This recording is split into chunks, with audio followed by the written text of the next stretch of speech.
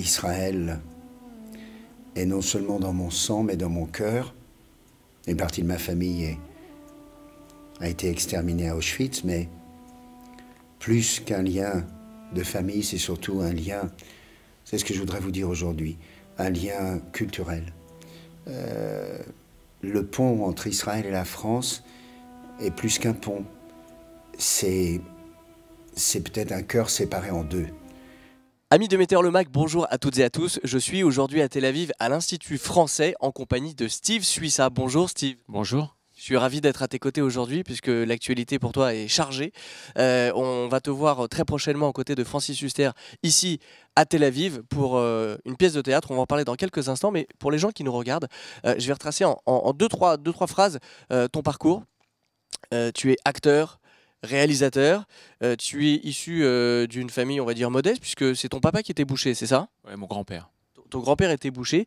Et euh, en 1989, bon, l'idée d'être comédien te, déjà te, te, taraudait un petit peu. Et un jour, tu t'inscris au cours Florent. Et là, ça se passe pas tout à fait comme prévu. Qu'est-ce qui s'est passé ce jour-là? Parce qu'il faut le préciser, tu t'es inscrit à la classe libre des cours Florent. Et dans le jury, entre autres, il y avait Francis Huster. Oui, euh, j'adorais, euh, j'adorais poser des questions aux films qui me donnaient souvent des réponses. Et euh, quand je suis arrivé au cours Florent, j'étais pas beaucoup allé à l'école, donc j'ai, j'ai proposé une scène du parrain qui n'était pas permise à l'époque. Francis Huster m'a laissé la passer. Et pour me sentir plus dans le personnage, parce que j'avais pas de formation, j'étais venu avec un blazer, de la gomina et un flingue. Et il parlait pendant l'audition pour me déconcentrer. Et moi, j'ai pris ça comme un manque de respect. Et à un moment, j'ai sorti ce flingue, j'ai mis deux balles par terre. Donc François Florent l'a plutôt mal pris et Francis Huster euh, aussi. Et euh, finalement, j'ai quand même été pris en classe libre, donc euh, j'ai eu la chance de l'avoir comme professeur. En fait, c'est énorme parce que vous dites pas grand-chose. Enfin, je dis, je dis, je dis tu, Steve. Tu dis pas grand-chose, juste tu tires des, coups de, pistolet. Mais il te rappelle quand même, Francis, pour te dire, tu es pris. Oui, alors soit c'est un, un, moment de folie pour lui, soit c'est tout d'un coup il a vu quelque chose derrière et et voilà, c'est en quoi je lui en suis reconnaissant. Et, euh, après, euh, on ne sait jamais comment, comment évolue dans la tête de quelqu'un d'autre une audition ou une présentation. On ne sait jamais ce qu'on dégage en vrai. C'est un petit peu pour toi l'envol. Et là, du coup, j'en viens à ce titre, l'envol, puisque c'est euh, ton premier film que tu as réalisé, qui est, on va dire, autobiographique, puisque c'est l'histoire d'un jeune garçon qui travaille dans la boucherie de son père, c'est ça, et qui a envie de devenir comédien. Et voilà, c'est ton histoire que tu racontes à, travers ce film. C'est Clément Siboni qui avait le premier rôle à l'époque. Oui, c'est ça. C'est euh, un moment de vouloir faire un film. Et euh, souvent, un premier film, c'est un, cri. C'est quelque chose qui t'est euh, très personnel. Et je pense que c'est quand on est le plus personnel qu'on est le plus, bah, qu'on est le plus universel. Et je me suis servi de mon histoire pour dire ce que j'ai à dire. C'est-à-dire que que derrière la difficulté des choses, il y a, un espoir et que, euh, et que tout est permis et que tout est possible. Il suffit juste d'y croire ou il suffit juste de, tout faire pour y croire. Alors Steve Suissa, en 1990, euh, on te voit dans un film de Jean-Luc Godard. Quand même, ça c'est la, grande classe. Ça s'appelait Nouvelle Vague. Euh, tu as eu aussi un, rôle dans le film de, de Patrick Braoudet qui s'appelle Neuf mois.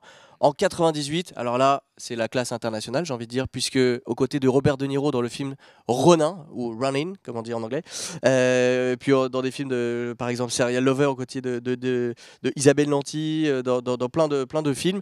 Euh, en 2004, tu réalises un film qui s'appelle Le Second Rôle. Là aussi, en fait, j'ai remarqué que pour te donner des, des, des, rôles importants et pour te donner tout simplement une place dans le cinéma, tu es obligé d'y mettre du tien. C'est toi qui produis, c'est toi qui réalise, c'est toi qui, scénarise. Tu es partout, Steve Partout, je sais pas, mais euh, j'essaye d'être en moi déjà et, euh, et, de prendre mon destin en main et, voilà. Et euh, il y a des gens comme ça qui ont besoin de de se, de se voir comme des bâtisseurs. Il y a des choses qui sont forcément nécessaires, et puis il y a d'autres gens pour qui les choses viennent, et leur talent, c'est les choix qu'ils feront. Euh, il n'y a pas mieux, il n'y a pas moins bien. C'est juste que je pense que euh, faut écouter, euh, faut écouter son cœur, il faut écouter son instinct, et que et que faut faut prendre des risques. Et je pense que le goût du risque, quand il est noble, ne doit pas s'amoindrir dans une société qui devient virtuelle ou dans une société qui devient fataliste. On n'est pas mieux que ça. Mais je pense qu'à un moment, il faut, faut, savoir prendre son risque. Voilà. Et, par exemple, mettre en scène la flûte enchantée de Mozart, c'est un risque ou pas? Parce que c'est improbable. Bah, c'est totalement improbable. C'est-à-dire que euh, je, je, leur ai demandé 15 fois s'ils n'étaient pas trompés de numéro de téléphone. Donc, euh, qu'est-ce que ça nous fait faire quand on nous propose la flûte enchantée de Mozart et quand on n'a fait aucune école, ni d'opéra, ni de musique ben, on se plonge sur les 19 films qui ont été faits sur le sujet, on prend toutes les versions, on les épluche, on regarde ça, on écoute tout Mozart et, euh, et on apprend en même temps que de transmettre. Donc forcément, ça nous, ça nous implique à se nourrir avant de pouvoir donner aux autres notre point de vue. Et ça, c'est euh, très très enrichissant. Steve Hussa, euh, donc tu es acteur, metteur en scène, tu as fait beaucoup de théâtre, tu as mis en scène beaucoup de, pièces de théâtre, tu as joué dans des films, tu as réalisé des films. Euh, la prochaine étape, ça va se passer aux côtés de ton partenaire on va dire, de, voilà, qui, que tu as rencontré au cours Florent, donc Francis Huster, le grand comédien Francis Huster. Euh, comment ça se passe en fait cette évolution avec Francis, puisque tu vas le mettre en scène dans une, une pièce de Stéphane Zweig ici à Tel Aviv, et ça sera au mois de, juin prochain? Ça se passera du 15 au 20 juin.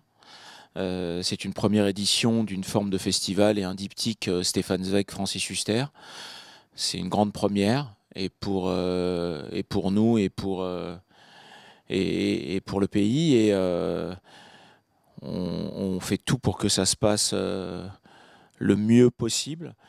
Comment ça se passe euh, On travaille, c'est-à-dire que ça se passe comme dans un couple.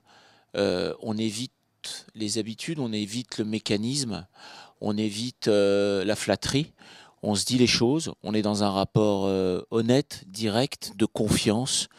Euh, et euh, voilà, ça demande beaucoup d'exigence, beaucoup de rigueur, mais je ne pense pas que les choses puissent durer longtemps si on n'a pas conscience de ça. Mhm. Donc, vous, avez une relation de couple en fait entre metteur en scène et acteur, quoi. C'est vous, c'est vous le couple? Oui, on a une relation comme aurait pu l'avoir euh, Montant et Sauté, comme aurait pu l'avoir John Cassavetes avec Peter Fall, comme aurait pu l'avoir. voilà, des. moi, j'aime les choses qui durent. Donc euh, je suis fasciné par les choses qui durent et je suis admiratif des choses qui durent. Steve Sussa, pourquoi avoir choisi de, jouer ici en Israël et d'emmener euh, bah, Francis Huster jouer ici sur les planches en Israël? Parce que quand on est venu montrer euh, la captation d'Anne Frank et après quand il est venu faire l'énigme Zweig, j'ai senti qu'il y avait une demande, une écoute, un accueil plus qu'émouvant. Parce que parce que euh, j'ai une relation affective avec Israël, parce que, euh, parce que cette énergie me touche, parce que ce pays m'émeut, et parce que d'amener le théâtre euh, français hors frontières fait aussi partie de notre mission et de notre travail. Il y a une place pour le, théâtre français ici en Israël, hormis le public francophone bien sûr. Est-ce que c'est possible de toucher le public israélien? J'espère. C'est ce qu'on fera dans un second temps si cette première rencontre en juin se passe bien, c'est-à-dire euh, de pouvoir mettre comme à l'opéra des écrans traducteurs et d'avoir euh, le texte traduit en hébreu et en anglais pour ouvrir un maximum parce que le but n'est pas de fermer au contraire le but est d'ouvrir les choses. Donc euh, ce serait mon plus grand souhait en tout cas en tout cas, c'est tout ce qu'on vous souhaite. Une, longue carrière, bien sûr, en France, à l'international et ici en Israël. Vous avez des attaches, euh, vous, ici euh, en Israël, de la famille peut-être? J'ai de la famille à Haïfa et euh, j'ai surtout une attache particulière, c'est que je me sens chez moi. Vous, l'avez déjà dit d'ailleurs à l'époque euh, pour la, journée de la Tzedaka, vous, étiez parrain de la Tzedaka et d'ailleurs, encore une fois, je le répète, vous êtes proche de Francis Huster, vous l'avez entraîné dans cette, dans cette aventure de la Tzedaka. C'était déjà un premier approchement vers Israël? Oui, transmettre, donner, s'impliquer, euh, s'ouvrir. Je pense que euh, on a tous intérêt à faire ça donnez. Voilà, comme disait Enrico Macias, donnez, donnez, donnez, donnez. Dieu vous, le, rendra, tout simplement. Bon, Steve Suissa, euh, je rappelle que la pièce que vous allez mettre en scène avec Francis Huster donc, se déroulera au mois de juin ici en Israël. Vous allez faire Tel Aviv, euh, Jérusalem, vous allez faire Netanya, il y aura d'autres villes, probablement Ashdod, je crois. Euh, toutes les infos donc sur israstage.com. Et qu'est-ce qu'on peut vous souhaiter maintenant, Steve? Du bonheur, de l'apaisement et, euh, et, je vous souhaite de bonnes fêtes à tous. Raxamer, Steve Suissa, merci beaucoup. Je parle du